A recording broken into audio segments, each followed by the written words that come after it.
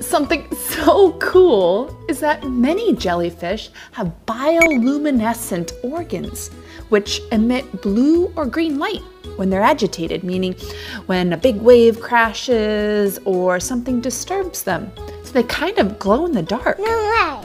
They only live three to six months, and they could be tiny, tiny or enormous. The largest jellyfish recorded was seen in Massachusetts Bay in 1870. The top of it was seven feet six inches across diameter, and its tentacles were 121 feet long. That's longer than a blue whale. Remember though, never touch a jellyfish. Many of them have tentacles that sting, and that would hurt a lot if you touch them.